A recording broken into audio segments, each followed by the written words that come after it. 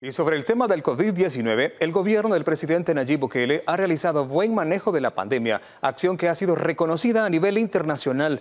Actualmente desarrolla otras medidas necesarias para recuperar la economía. Por ejemplo, creó un fideicomiso para apoyar la recuperación de las micros y pequeñas empresas destinando 600 millones de dólares. Además, se van a distribuir cerca de 18 millones más en fondos no reembolsables a los artistas, artesanos y pescadores. Además, 10 millones de dólares adicionales para taxistas, propietarios de transporte escolar y turístico, entre otras medidas que respaldan aquellos sectores impactados de forma negativa debido a la pandemia del COVID-19.